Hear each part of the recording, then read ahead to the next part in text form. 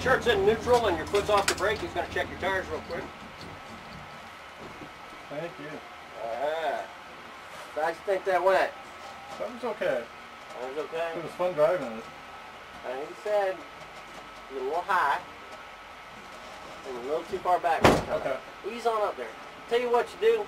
Here's, here's what you do. When you go out there this time, I mean, one, really concentrate on staying those tire tracks, but keep easing up on them until you get one yellow light.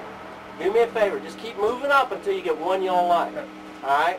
When you get that, just just barely crack the throttle, just enough so that light goes out Okay. and stay there. Then you know you're there for sure. Okay. Okay, because you were kind of at the back edge of it, and the problem is, is if it's the back edge of three car lengths, then when you get into a turn, if you fall back just a little bit more, Right. you know, it hurts your lap time. So just like I say, when you when you get going down that backstretch on that first lap, just keep easing up on them till you get a yellow light. Okay. Then just move it open a little bit, stay there, you'll be good, man. It'll get you to the limit. Sounds You need a refill? Yeah, that's good. You good? You ready to go for some more? Yeah, I think so. You sure? All right, we'll do it. You go ahead and put her back in first.